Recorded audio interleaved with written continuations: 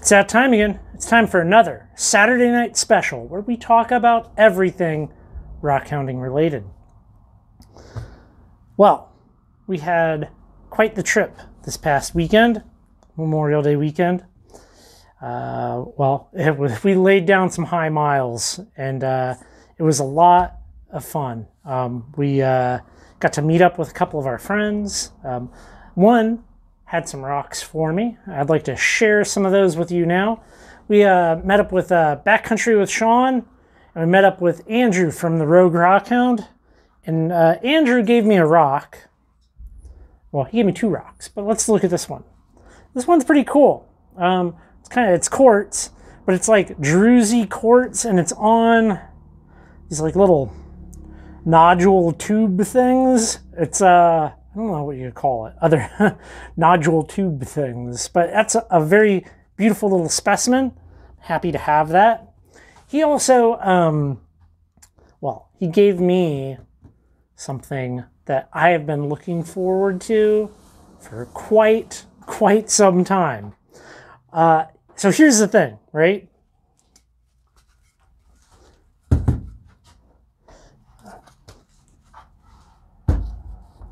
Which one of these rocks weighs the most? You have a, an opinion? Which one? Which one do you think? Maybe you think it's a trick question? Well, uh, kind of. Um, they weigh the same amount. Okay. Now, um, I am a fan of kind of, look, I like kind of silly things, novelty things. And uh, he brought me this big piece of pumice. Um, look at it. Look at this video. Okay. now, um, I find it to be quite amusing to have a floating rock. I mean, it's just it's. I don't know. It's I find it to be very uh, very amusing for some reason. I mean, can you just imagine for a second, like if you had a whole, like, you know, a whole. Whoop. So we got 5.5 pounds for this guy. Could you imagine if we had, if you had like a big volcanic eruption and there's just tons of pumice like floating in a lake? I mean, it's just, it's so, I don't know, it's so not what you expect to see. It's just so lightweight. I mean, a rock comparably in size that would be, um, easily 40 pounds if it was entirely solid, which, well, this is basically a giant air pocket. And it also has a really, um, has a really interesting sound. Like you can just take something out and be like, hopefully that's picking up. It's very tinny. Um, and I just, I don't know. Um, I, I love that it floats. um, so it was good meeting up with him, those guys. Um, my buddy Nicholas, he uh, he left, put some jasper along with a couple other rocks on my porch, and uh, I think this stuff is absolutely gorgeous. I really want to make something out of that. You know, um, I I prefer I like the jasper that has like um, more of that brown butterscotch color to it. Um, I really would like to find some and uh, make some make some stuff out of that. So, yeah, thank you so much, Nicholas. Uh, that's very very very cool. Um, I'm very happy to have some of those jasper slabs. Um, I haven't been doing a lot of lapidary lately. I've just been kind of going, going, going. Um, and this we showed in the visit down to the Rock Rollers Club where we cut the big thunder eggs. Um, a lot of people had different opinions on this. Now, I'm not very good with rocks that are not from here. I mean, you can't know everything. Pretty sure this is not from the Northwest. I did, however, uh, do a hardness test on it, and it's like between a three and a four. So, uh, pretty confident that this is calcite. I had wanted to cut a little bit of it off and throw it in some acid.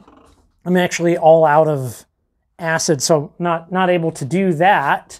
but um, you know, maybe maybe next time when I can get some acid in the shop. Uh, I do want to talk a little bit about some books. So I have two new books in, and I've been working my way through these. Uh, the geology underfoot. So I got Southern Idaho, and I also have Western Washington. I haven't completed them, but um, I do like the style of these. I think the the way they are written is very good. Um, you know, uh, often when I when okay, I'm not a trained geologist, right? I just read a lot of things.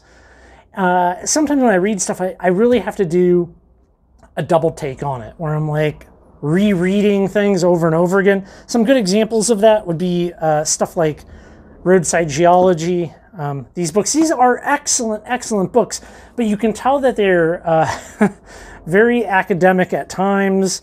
And there's things in here where I'm just like, wait, what? What? I got to go back and I got to look up a word. I got to like double check a thing.